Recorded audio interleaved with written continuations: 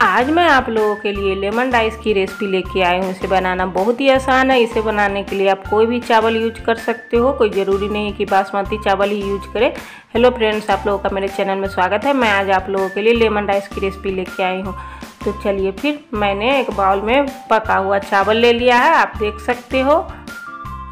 तो चलिए फिर लेमन राइस बनाने की तैयारी कर लेते हैं। इधर मैंने गैस पे पैन चढ़ा दिया है। पैन में अब डालेंगे तेल। तो चलिए फिर तेल डाल के इसको गर्म होने देंगे। तेल जब गर्म हो जाएगा, तब हम इसमें ऐड कर देंगे आधा छोटा चम्मच राई। तो चलिए फिर अब हम इसमें राई ऐड कर देते हैं।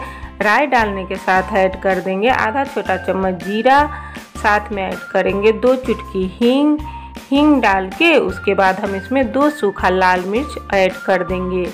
आप देख सकते हो हमने इसमें हींग ऐड कर दिया है। अब डाल देंगे दो सूखा लाल मिर्च। इन सभी चीज़ों को डाल के हल्का पकने देंगे। साथ में ऐड करेंगे दो छोटा चम्मच चना दाल। तो चलिए फिर इसमें हम चना दाल ऐड कर देते हैं। चना दाल डालने के बाद उसमें ऐड कर देंगे दो चम्मच उड़द की दाल। उड़द दाल डाल दिया हमने। अब साथ में ऐड कर दिया हमने दो तीन चम्मच मूंगफली। इन सभी चीज़ों को डाल के अच्छे तरीके से धीमी आँच पे पका लेंगे। एक दो बार चलाने के बाद हमने इसमें ऐड कर दिया है काजू। काजू डाल के भी इसको अच्छे तरीके से मिलाते हुए भून लेंगे।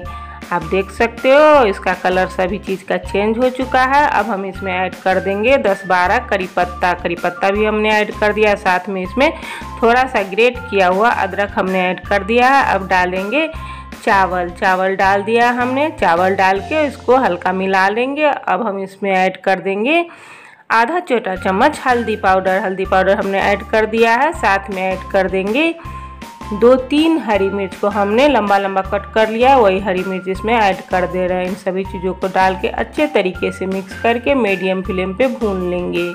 अब हम इसमें ऐड कर देंगे टेस्ट के अकॉर्डिंग नमक। तो चलिए फिर इसमें नमक भी हम ऐड कर देते हैं। ये लेमन राइस झटपट से बन के तैयार हो जाता है। Lemon rice South Indian recipe है। ये खाने में बहुत ही अच्छा लगता है। आप लोग इसे एक बार मेरे तरीके से ज़रूर बना कर ट्राई करिएगा। आप लोगों को बहुत ही पसंद आएगा। चलिए अब हम इसमें ऐड कर देते हैं दो चम्मच नींबू का रस। तो चलिए फिर इसमें हम नींबू का रस ऐड कर देते हैं। नींबू का रस डाल के इसको मिक्स कर लेंगे। आप देख सकते हो, अब हमने इसमें नींबू का रस ऐड कर दिया है। नींबू के रस को डाल के इसको अच्छे तरीके से मिक्स कर देंगे। और गैस के फ्लेम को बंद कर देंगे। साथ में हम इसमें ऐड कर देंगे थोड़ा सा दो तीन चुटकी चीनी। तो चलिए फिर इसमें चीनी ऐड कर देते हैं। चीनी ऑप्शनल है, अगर आप डालना चाहें तो डालें, नहीं तो कोई बात नहीं। लेमन राइस खाने में बेहद ही लाजवाब लगता है। इसको अच्छे तरीके से चारों तरफ़ से घुमाते हुए मिक्स कर ले। आप देख सकते हो कितना खिला खिला ये लेमन राइस बन के तैयार हुआ है।